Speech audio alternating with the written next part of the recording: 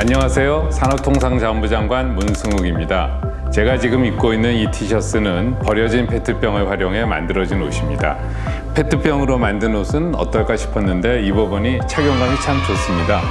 이렇게 친환경 옷을 입고 2021 서울 녹색미래 정상회의의 의미를 알리는 고고 challenge로 인사드리게 되어 반갑습니다. 더 나은 녹색 미래를 위해 현재 많은 분들이 플라스틱 사용 줄이기에 동참해주고 계신데요. 석유를 사용하지 않는 플라스틱, 완전히 분해되는 플라스틱이 있다는 사실 알고 계셨나요?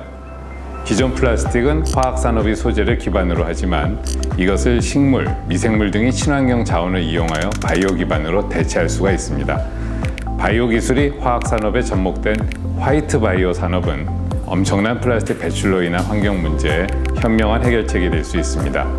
산업통상자원부는 화이트 바이오 산업을 육성하기 위해 더욱더 다각도의 지원을 아끼지 않겠습니다.